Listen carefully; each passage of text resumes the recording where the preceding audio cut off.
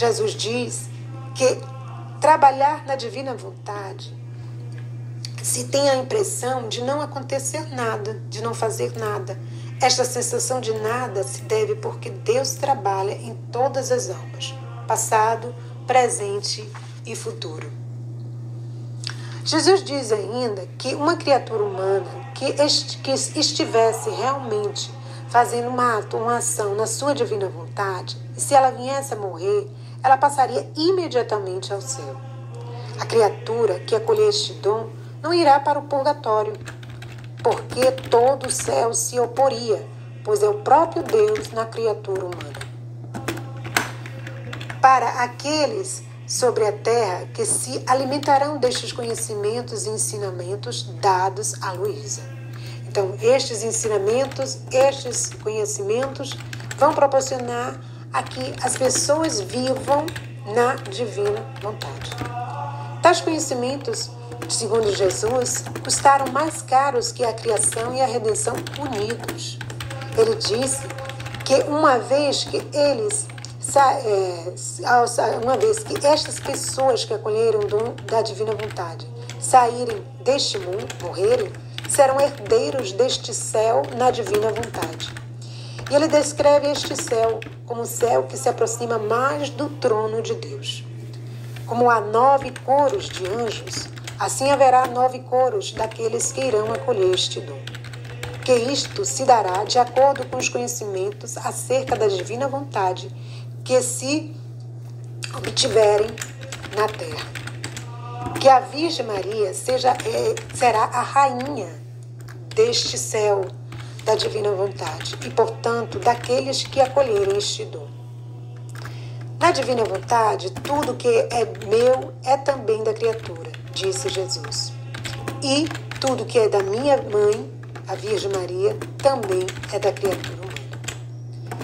O Padre Roy diz: Posso lhes dizer que cada dia mais fico maravilhado com esses ensinamentos. Isto me dá alegria alimenta minha alma, tudo que me, me rodeia, portanto, se torna pequeno ao lado do que diz a divina vontade. A todos vocês que me escutam hoje, que Deus ah, prepara, que Deus preparou, que prepare e preparou os corações daqueles que, que acolhem este dom e que irão acolher este dom.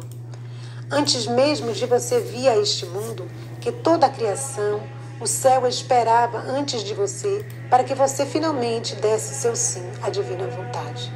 Neste momento que falo com você, é que e muitas vezes você vai se sentir tocado e mesmo até derramar lágrimas, porque na realidade não sou eu que toco em você, é a divina vontade que chama a que você dê o seu sim.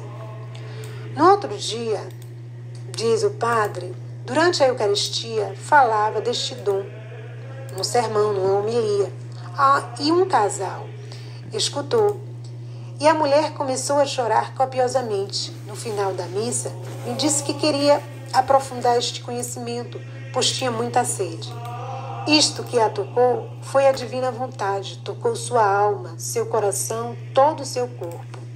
Que todas as pessoas Aí ele diz que todas as pessoas também se sintam tocadas, né? Continuando, ele, ele diz: todas as pessoas que vierem a falar deste dom, a viver este dom, sobretudo falarem deste dom, né?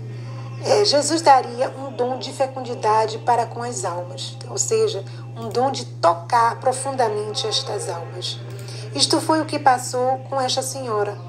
Era a divina vontade que fazia mover, tremer sua alma, porque desde a eternidade esta criatura foi chamada a dar o seu sim, não somente por um dia, mas a cada dia de sua vida.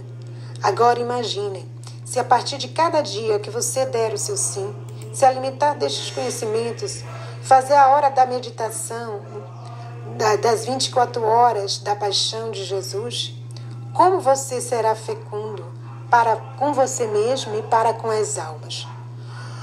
E Padre Roy ainda nos chama. Busque no Google e escreva 24 horas da paixão. Luísa Picareta. Jesus deu a Luísa estas palavras para esta meditação. Os santos que quiserem comungar sua paixão com sua vontade própria, mas com sua vontade própria, né? né é, não, é, esta meditação, é o próprio Deus meditando. É Deus mesmo que vem meditar através da sua criatura, porque foi Deus quem o fez. Então, o relógio da paixão, também conhecido, foi o próprio Deus que deu essas palavras a Luísa e que, ao meditarmos, nós criaturas, ao meditarmos, vivendo na divina vontade, será o próprio Deus que meditará. Isto se faz de maneira perfeita, é muito importante recordar. Ele o fez por todos os homens de todos os tempos, passado, presente e futuro. Ele disse que não há nenhuma vontade humana que possa fazer isso, mas sim a divina vontade. Você tem sua escolha, diz o Padre Roy. Você tem sua opção. Siga por sua vontade humana, na busca na vontade de Deus. Vontade humana com suas fragilidades humanas, fraquezas, debilidades. Ele disse que tudo que fazemos na terra com a nossa vontade humana, mesmo os atos mais santos, deverão esperar o julgamento particular no momento da morte para ser confirmado por ele. Enquanto os atos feitos na divina vontade, dando minha vontade própria, dizendo sim à divina vontade, Deus começa a fazer através de mim e diviniza todas as minhas ações. Cada pequeno gesto, ato, beber, comer, dormir, trabalhar, etc. Ele disse que a partir deste momento, estas ações são imediatamente confirmadas, que não há necessidade de esperar o julgamento particular, que suas ações são divinizadas já que é Deus que faz através de sua criatura. É, e essas, essas ações sobem imediatamente aos céus. E por isso é que uma grandeza, é uma grandeza a meditação das 24 horas também. Né? É uma grandeza. Esses ensinamentos que Deus nos dá. E, e, e ele vem dizendo assim: é, um dia, seu diretor espiritual, que é o padre Aníbal de Francia, canonizado por João Paulo II, aparece após a sua morte a Luísa para lhe dizer a realidade da divina vontade. Ele disse: Tudo que fiz sobre a terra, os ensinamentos que dei sobre a divina vontade, no céu eram fogo novo, luzes de cores inexprimáveis, luzes novas, infinitas, de beleza inigualável e que se multiplicavam infinitamente. É algo divino, é algo maravilhoso. Por quê? Diz o Padre Roy. Porque quando é Deus que age na criatura. Ele diviniza tudo. A explicação para isso é isso, porque Deus, Deus é que age na criatura. Tudo fica divinizado. Porque como ele diz a Luísa, Jesus diz a Luísa, quando ele veio sobre a terra, no momento de sua concepção até a sua ascensão, ele divinizou todos os atos e ações que são atos humanos em sua divindade. Divinizou todas as ações das criaturas que vieram antes e depois dele, que essas ações estavam suspensas, esperando o dia em que eu e você nos abriríamos a receber este presente da divina vontade, permitindo a Deus de tudo divinizar em nós. Um dia, diz, um dia, disse, Luísa disse a Jesus, Jesus, je t'aime. Jesus, eu te amo.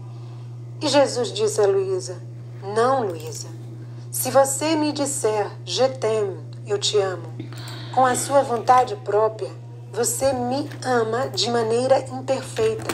Mas se você me disser com a minha vontade, minha divina vontade, je t'aime, Jesus, você me ama de maneira perfeita porque sou eu que me amo através de você. E acontece o mesmo com nossas ações, porque Deus que age através de mim e de você. Porque eu digo sim, dando minha vontade humana, é Ele que diviniza tudo através de mim. Deus fica contente, pois só Deus pode contentar Deus quando eu digo meu sim. Eu digo a você que me escuta, diz Padre Roy, descubra este dom. Acolha-o, ele foi preparado para você. Alimente-se dos seus ensinamentos. Faça a meditação das 24 horas da paixão. Jesus disse que quando ele criou Adão, era para romper a solidão de Deus. Deus não está sozinho, diz Padre Roy. É uma imagem para dizer que Deus Deus é, que é, que é uma imagem, é uma imagem. Deus não está só. E continua. Eu, eu criei a criação e tudo que criei eu marquei com a divina vontade. Mas a criação não podia me dirigir a palavra. Eu criei Adão para um retorno de amor e de glória, feedback. Porque ele quer dar este dom a toda a humanidade. Por quê? Para que haja porque para que haja um regresso de amor e glória a Deus. Ele vai dizer que o homem se apropria de toda a criação de maneira egoísta, como se tudo lhe pertencesse. Ele diz que o homem é um ladrão do que, do que ele faz. Deus nos diz, porque não há um regresso de amor e de glória.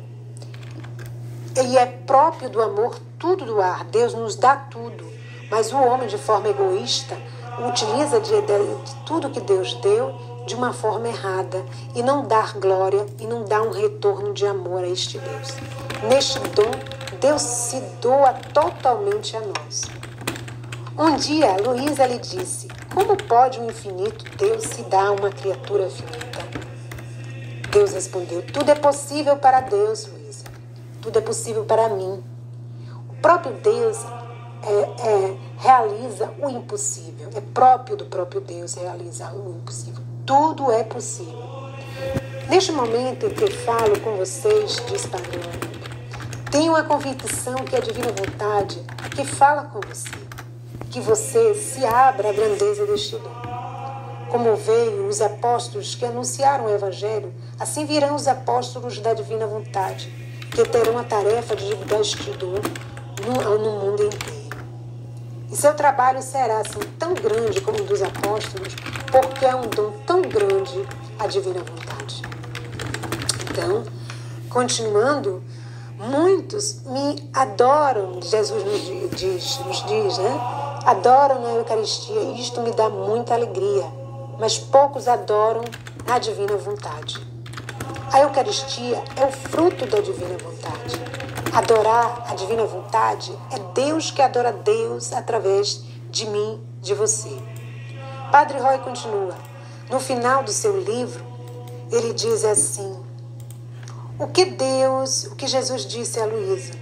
Atualmente estamos no final do terceiro período de dois mil anos.